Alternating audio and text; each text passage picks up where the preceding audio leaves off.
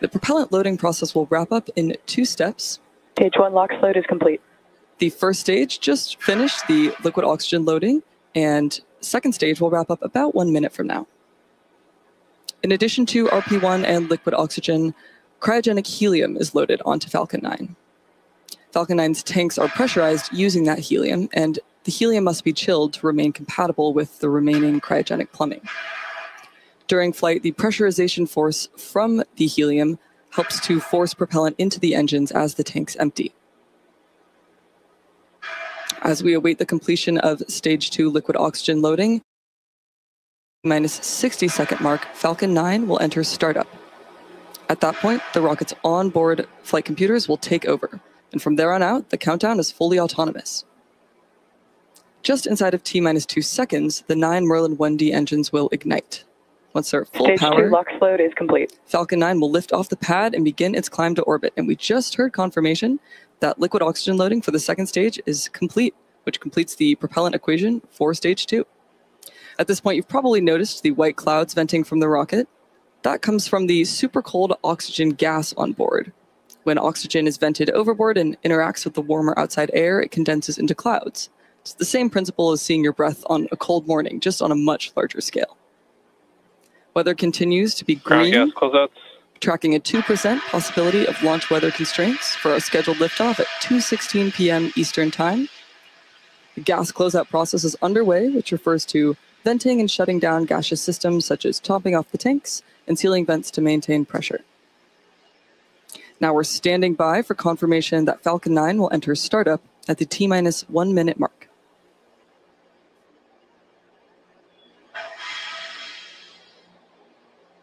Falcon 9 is in startup.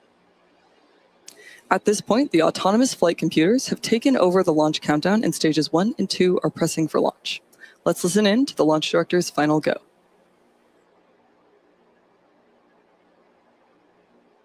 MD is go for launch. As you heard, we are go for launch. Let's listen in to the final seconds of the countdown. T minus 30 seconds.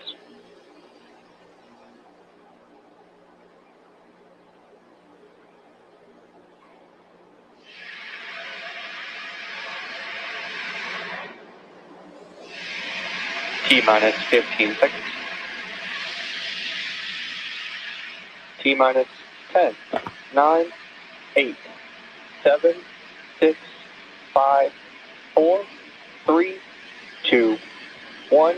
Engines full power. And liftoff. Go Falcon, go Enroll 77.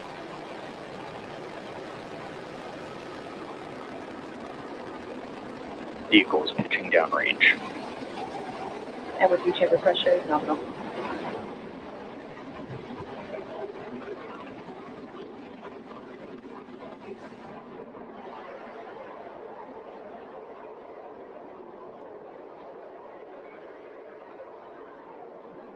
At T plus 30 seconds and counting, Falcon 9 has successfully lifted off from Space Launch Complex 40 at Cape Canaveral Space Force Station. And in just a few seconds, we'll throttle the engines down in preparation for Max Q, which stands for Maximum Dynamic Pressure. It's the moment in the Power launch telemetry nominal. when the vehicle experiences the greatest mechanical stress that it will see during its ascent. To help go from vertical to horizontal, the first stage also performed a gravity turn where the engine's gimbal small amount supersonic. to turn the first stage from going straight up to horizontal with the help of gravity. Eventually, Falcon 9 will be roughly horizontal to Earth as we achieve orbit. Max Q. Falcon 9 has just passed through max Q, and the rocket typically needs to go 17,500 miles per hour horizontally in order to avo- avoid being pulled back down to Earth and get into orbit. You can track our progress to orbit by watching the left corner of your display, which is showing first stage velocity and altitude. We have several events coming up in quick succession, and we should hear them all called out by mission control. These include main engine cutoff or MECO, stage separation, stage one flip, second engine start one, and boost back burn. Main, main engine cutoff is when we shut down all nine M1D engines on the first stage. Stage separation is when the first and second stages of Falcon separate from one another. Stage one flip is when the booster uses its nitrogen gas thrusters to flip the booster around. Next, second engine start one, we will light the MVAC engine on stage two for the first time, and after that is boost back burn, when the engines will light to place stage one on a trajectory towards the landing zone. So keep an eye out for these events happening back to back.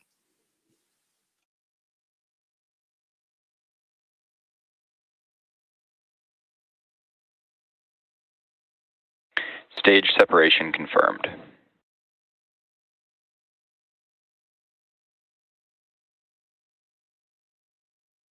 Stage one boost back startup.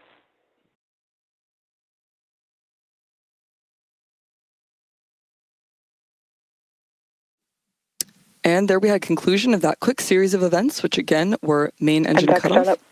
second uh, stage separation, stage one flip, second engine start one, the MVAC engine, and the start of the boost back burn. Coming up next will be fairing separation in just a few seconds. The fairing will jettison away from the second stage as, as it is no longer required to protect the payload once we're in space.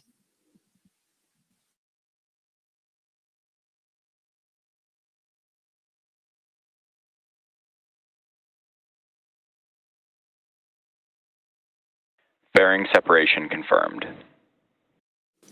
And there's that confirmation of fairing separation. As we mentioned earlier, we will be attempting to retrieve these fairing halves once they fall back to Earth.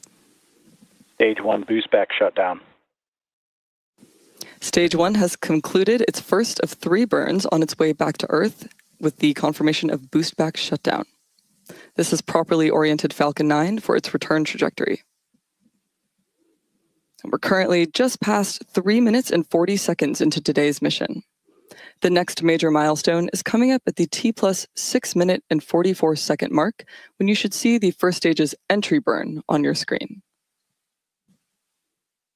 To start the entry burn, we will relight three of the nine M1D engines on the first stage, starting with the center engine, known as E9, followed by E1 and E5.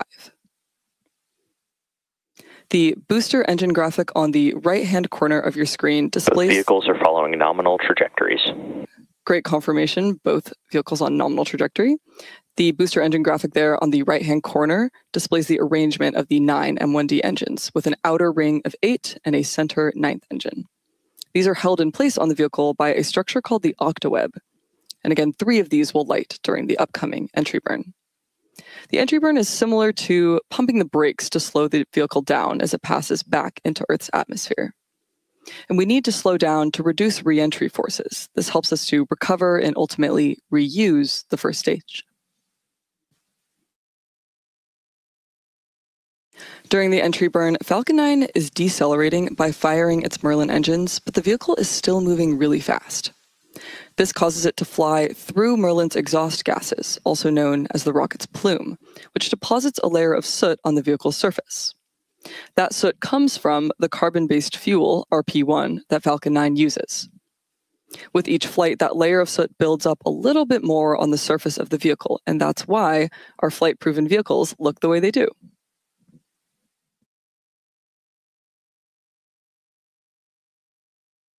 Now we are still just over a minute away from the beginning of the entry burn. You can see on the left-hand corner of the screen, the first stage is decelerating as it makes its way back to Earth. The first stage is not only going to use the Merlin engines for reentry and landing, it will also use the titanium grid fins and nitrogen gas thrusters for stability and control.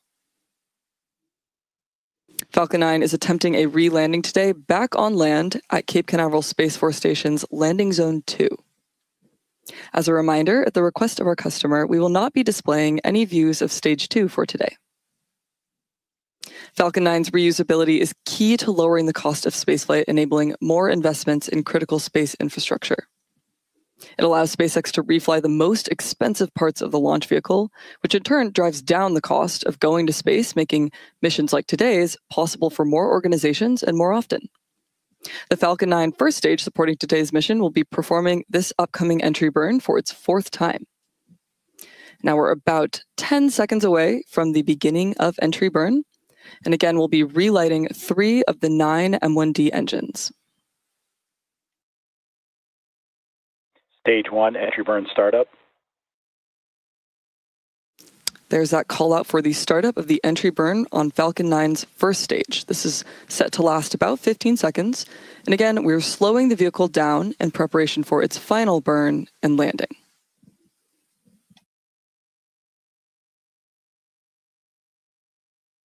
Stage one entry burn shutdown. The entry burn has shut down on the Falcon 9 first stage.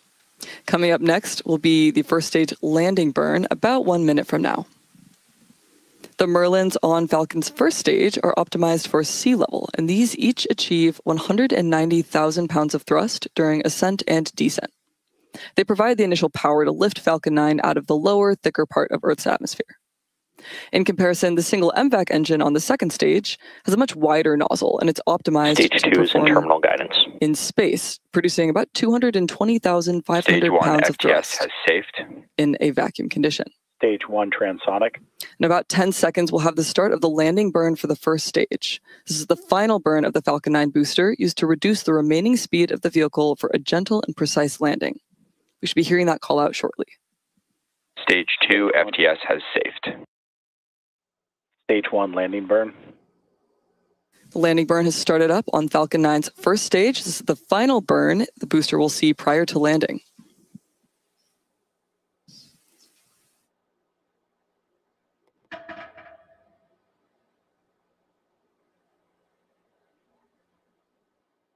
Stage one landing leg deploy. Nominal orbit insertion. Stage one landing confirmed. And there we have another successful landing of our Falcon 9 rocket. This was the fourth launch and landing for this first stage. As a reminder, we will not be showing any stage two or deployment views at the request of our customer. So, with that landing of the Falcon 9 booster, we'll be bringing our webcast to a close. We'd like to thank the Space Systems Command and National Reconnaissance Office for entrusting us with today's mission, and we would also like to thank the Range and FAA for their support. If you're interested in more launch coverage, head over to spacex.com forward slash launches for the most up to date information. When you're there, check out our departure board with all the details of our upcoming missions. Remember to follow at SpaceX on X for more updates. Thank you for tuning in, and we'll see you next time.